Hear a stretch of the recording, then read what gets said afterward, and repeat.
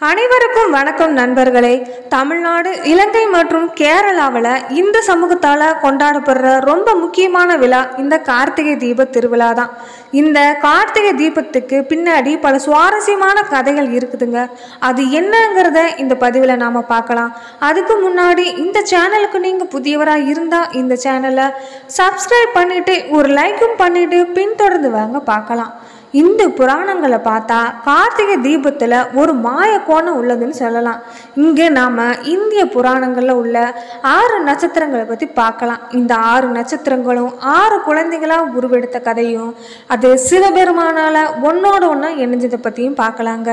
இந்த ஆறு நட்சத்திரங்களும் ஆறு குழந்தைகளா வளர ஆரம்பிக்கிறாங்க.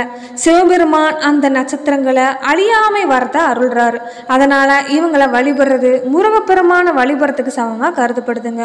சடங்குக்காக மக்கள் தங்கள் வீடுகள்லையும் தெருக்கள்லையும் மாலையில வரிசையா எண்ணெய் விளக்கை ஏற்றி இது கார்த்திகை திருவிழாவாக கொண்டாடுறாங்க.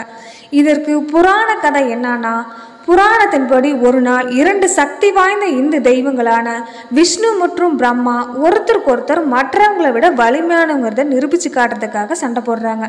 இந்த சண்டையை முடிவுக்கு கொண்டு வர சிவபெருமான் தலையிட வேண்டியதாக இருந்தது. இதுக்காக அவர் ஒரு பெரிய நெருப்போட வடிவம் எடுக்கிறாரு. பின்னாடி விஷ்ணு மற்றும் பிரம்மா ரெண்டு பேரும் தீயின் முடிய மேலிருந்து கீழே கண்டுபிடிக்கும்படி சவால் செய்கிறாரு அப்போ விஷ்ணு பன்றியோட வடிவத்தையும் பிரம்மா சுவான வடிவத்தையும் அதாவது அன்னப்பறவையோட வடிவத்தையும் எடுக்கிறாங்க. இருவரும் கடுமையாக முயற்சித்தையும் முடியையும் அடியையும் அவங்களால கண்டுபிடிக்க முடியல. சிவபெருமான் தன்னை தவிர வேற யாரும் உயர்ந்த கடவுள் இல்லைங்கிறத இதன் மூலமாக நிரூபிக்கிறார். அதுக்கு பின்னாடி அவங்க திருவண்ணாமலை பகுதியில் ஒரு மலையாக தோன்றுறாரு. பின்னாடி மன்னர்கள் சிவபெருமான போற்றும் வகையில் கோயிலும் கட்டி கட்டுறாங்க. அன்றிலிருந்து இன்று வர இந்த விழா உள்ளூர் மக்கள் மட்டும் இல்லாமல் தமிழ்நாடு முழுவதும் பரவலாக கொண்டாடப்படுதுங்க. கார்த்திகை தீபத்தோட முக்கிய இடங்கள் என்னன்னா விளக்கு திருவிழா கார்த்திகை தீபத்தில் தீய சக்தியை விரட்டுன்னு நம்பப்படுறதால ஒவ்வொரு வீட்லேயும் அகல் விளக்கு இல்லைன்னா களிமண் எண்ணெய் விளக்கு ஏற்றப்படுது. ஒவ்வொரு இந்து பண்டிகையிலும் விளக்கு மற்றும் இந்த சடங்கு முக்கியமானதாக கருதப்படுதுங்க.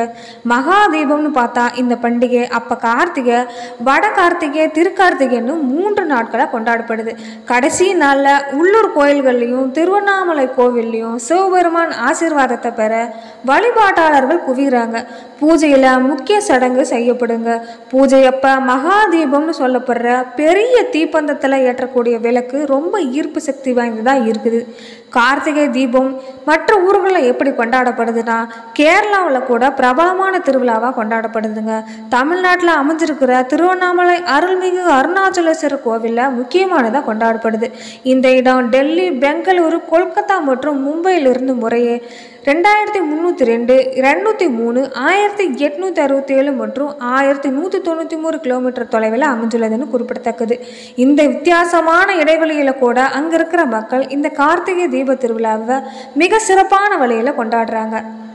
கார்த்திகை தீப திருவிழா நவம்பர் மாதம் நடைபெற உள்ளதை முன்னிட்டு திருவண்ணாமலை அண்ணாமலையார் கோவிலில் இன்று பந்தகால் நடும் முகூர்த்த விழாவும் நடைபெற்றது. இதில் ஏராளமான பக்தர்கள் பங்கேற்று சாமி தரிசனம் செஞ்சாங்க.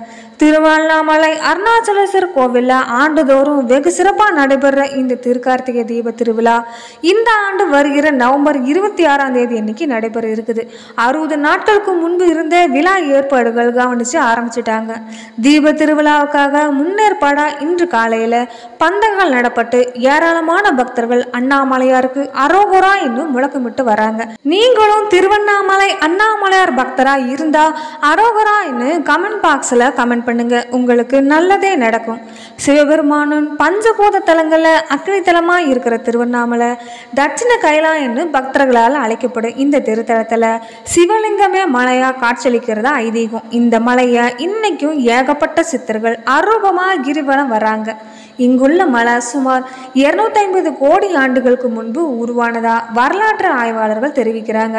திருவண்ணாமலை அருணாச்சலேஸ் கோவிலில் மாதந்தோறும் திருவிழாக்கள் நடைபெற்றாலும் கூட கார்த்திகை மாதத்தில் நடைபெறும் தீப திருநாள் அதையொட்டி பத்தாம் நாள் மலை உச்சியில் மகா தீபம் ஏற்றப்படும் நிகழ்வு இதெல்லாம் ரொம்ப வெகு விமர்சையாக நடத்தப்படுங்க. இந்த மகா தீப தரிசனத்தை பார்க்கறதுக்கு லட்சக்கணக்கான பக்தர்கள் திருவண்ணாமலைக்கு கிரிவலம் வராங்க. கார்த்திகை தீப திருநாளை முன்னிட்டு திருவண்ணாமலையில் பரணி தீபம் அண்ணாமலையார் தீபம் மகா தீபம் விஷ்ணு தீபம் நாட்டு கார்த்திகை தீபம் தோட்ட கார்த்திகை தீபம்னு ஐந்து நாட்கள் தீபங்கள் ஏற்றப்படுங்க. இதில் லட்சக்கணக்கான பக்தர்கள் தீப திருவிழாவில் பங்கேற்கிறாங்க. மகாதீப திருவிழாவை முன்னிட்டு பூர்வாங்க பணிகள் தொடங்குவதற்கான பந்தக்கால் நடும் முகூர்த்த விழா இன்னைக்கு அதிகாலை ஐந்தரை மணிக்கு மேலே நடைபெற இருக்குது. விழாவை ஒட்டி சம்பந்த விநாயகருக்கு சிறப்பு பூஜைகளும் ஆராதனையும் செய்யப்பட்டு தங்க கவசம் அணிவிக்கப்பட்டு பந்தக்கால் நடும் நிகழ்ச்சிக்கான சிறப்பு பூஜைகள் அங்கு வச்சு செய்யப்பட்டிருக்குது. பின்பு அங்கிருந்து ஊர்வலமாக வந்து ராஜகோபுரம் முன்பு பந்தக்கால் முகூர்த்தம் சிவாச்சாரியர்களால் வேத மந்திரங்கள் ஓத நடைபெற்றுச்சுங்க. விழாவில் திரளமான பக்தர்கள் கலந்து கொண்டு சாமி தரிசனம் செய்கிறாங்க இதனைத் தொடர்ந்து கார்த்திகை தீப திருவிழாவுக்கான பூர்வாங்க பணிகள் தொடங்கப்பட்டு இருக்குது இந்த ஆண்டுக்கான கார்த்திகை தீப திருவிழா வருகிற நவம்பர் மாதம் பதினேழு தேதி என்று தொடங்கி நவம்பர் மாதம் இருபத்தி ஆறாம் தேதி வரை நடைபெற இருக்குது. விழாவில் முக்கிய நிகழ்ச்சியான மகா தீபம் நவம்பர் இருபத்தி ஆறாம் தேதி மாலையில் அருணாச்சலேஸ்வரர் கோவில் பின்புறம் உள்ள மலை உச்சியில் ஏற்றப்பட இருக்குதுங்க. ரெண்டாயிரத்தி அறுநூத்தி அறுபத்தெட்டு அடி உயரம் மலை உச்சியில் ஐந்து அடி உயரம் இரநூறு கிலோ எடை கொண்ட கொப்பரையில் மூவாயிரத்தி ஐநூறு லிட்டர் நெய் மற்றும் ஆயிரம் மீட்டர் காடா துணிகளும் மகா தீபம் ஏற்றுவதற்கு பயன்படுத்தப்படுங்க. திருவண்ணாமலை அருணாச்சலேஸ்வரர் ஆலயத்தில் அர்த்தநாரீஸ்வரர் நடனமாடி காட்சி அளித்து பின்னர் சாமி சந்நிதி முன்பு அகண்ட தீபம் ஏற்றப்படும். அந்த விளக்கு ஒளி தென்பட்ட மகா தீபம் அப்போ தமிழகம் முழுவதும் வீடுகளில் அனைவரும் தயாராக வச்சிருக்கிற விளக்குகளை ஏற்றி அண்ணாமலையாருக்கு அரோகரான்னு முழக்கமிட்டு வணங்குவாங்க. மேலும் கார்த்திகை தீபங்கிறது தமிழ் இந்துக்களால் முக்கியமாக கொண்டாடப்படுற ஒரு பழங்கால பண்டிகையாங்க. இந்த திருவிழா கார்த்திகை விளக்கு அல்லது திருக்கார்த்திகைன்னு சொல்லப்படுது. இது தீபங்களோட திருவிழானும் தென்னிந்திய நாட்காட்டிப்படி கார்த்திகை மாதத்தில் அதாவது நவம்பர் நடுப்பகுதியிலிருந்து டிசம்பர் நடுப்பகுதி வரை கொண்டாடப்படுது. கார்த்திகை மாத பௌர்ணமி அன்னைக்கு முக்கிய உற்சவம் நடைபெறும். இந்த திருவிழா கார்த்திகேயனி பகவதி தேவியை வரவேற்குதுங்க. அதாவது சோட்டானிக்கரி அம்மாவை கேரள பகுதி மக்கள் இந்த கார்த்திகை திருவிழாவை கார்த்திகேய கடவுளின் பெயரிலேயே எடுக்கிறாங்க. கார்த்திகை தீப திருவிழா வட இந்தியாவில் முக்கியமாக கொண்டாடப்படுற கார்த்திக் பூர்ணிமாவோடையும் தொடர்பு கொண்டிருக்குது. கேரளா தமிழ்நாடு ஆந்திரா கர்நாடகா ஆகிய மாநிலங்களில் உள்ள இந்துக்கள் கார்த்திகையின் போது சிவன் கோவில்களில் எண்ணெய் தீபம் ஏற்றி இந்த பண்டிகையை கொண்டாடுறாங்க. இது தவிர இந்துக்கள் கார்த்திகை புராணம் படித்தும் மாதம் முழுவதும் சூரியன் மறை வர தினமும் விரதம் இருக்கிறாங்க. சுவாமி நாராயண சம்பிரதாயமும் இந்த விழாவை நம்பிக்கையோட ஆர்வத்துடனும் கொண்டாடப்படுது. மொத்தத்தில் கார்த்திகை தீபம் பண்டைய தமிழர்களில் மிக முக்கியமான பண்டிகைகளை ஒன்றா கருதப்படுது. சங்க காலத்தை சேர்ந்த அகநானூறுங்கிற கவிதை நூலில் இவ்விழா பற்றி குறிப்பும் காணப்படுதுங்க. ஔவையார் இந்த விழாவுக்கு பல பாடல்களை அர்ப்பணிச்சிருக்கிறாரு. அகநாடு போன்ற சங்க இலக்கியங்கள்லையும் இந்த விழா குறிப்புகள் காணப்படுது. கார்த்திகை தீபத்துக்கு பின்னணியில் பல சுவாரஸ்யமான கதைகளை நீங்கள் இந்த பதிவில் பார்த்துருப்பீங்க. மேலும் சுவாரஸ்யமான பதிவுகளை நீங்கள் பார்க்கணுன்னு நினச்சிங்கன்னா இந்த வீடியோவை ஸ்கிப் பண்ணாமல் தொடர்ந்து பார்த்துட்டு வாங்க. மேலும் கார்த்திகை தீபம்னு சொல்லப்படுற தீப திருவிழா தமிழ் இந்துக்கள் தங்கள் வீட்டில் களிமண் எண்ணெய் விளக்கலை ஏற்றி வைக்கிறாங்க. ஏற்றப்படும் தீபம் ஒரு மங்கள சின்னமாக கருதப்படுது. இது தீய சக்திகளை விரட்டி தங்கள் வாழ்வில் செழிப்பைய மகிழ்ச்சியும் தரும்னு மக்கள் நம்புகிறாங்க உண்மையில் கார்த்திகை தீப திருவிழா ஏற்பட்டிருக்கிற தீபம் ஒரு முக்கிய அங்கங்க. இந்த திருவிழா தென்னிந்தியாவின் சகோதர சகோதரிகளுக்கு இடையிலான அன்பான பிணைப்பை நினைவுபடுத்துது. இது வட இந்தியாவில் கொண்டாடப்படுற பாய் துச் மற்றும் ராக்கிக்கு ஒத்ததாக கருதப்படுதுங்க. சகோதரிகள் தங்கள் சகோதரர்களோட நல்வாழ்வு மற்றும் செழிப்புக்காக பிரார்த்தனை செய்கிறாங்க விழாவை குறிக்கும் வகையில் இந்த விளக்கும் ஏற்றப்படுது. தெலுங்கு வீடுகளில் கார்த்திகை மாதத்தில் எண்ணெய் தீபம் ஏற்றப்படுங்க?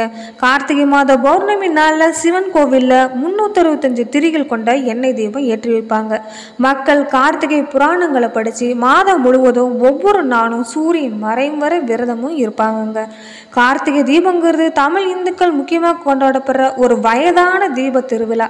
இந்த விழா கார்த்திகை மாதம் கொண்டாடப்பட்டு கார்த்திகை தீப திருநாளில் தமிழ் சூரிய நாட்காடிப்படி அடிப்படையாக கொண்டு விளங்குதுங்க.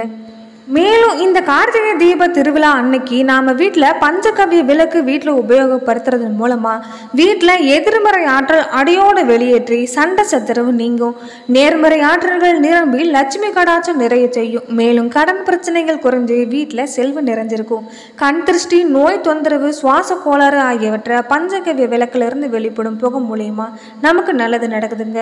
நீங்கள் இந்த பஞ்சகவ்ய விளக்கு வேணும்னு நினச்சிங்கன்னா ஸ்க்ரீனில் தெரிகிற வாட்ஸ்அப் நம்பருக்கு தொடர்பு கொண்டு பெற்று பயனடைங்க. நன்றி நண்பர்களே.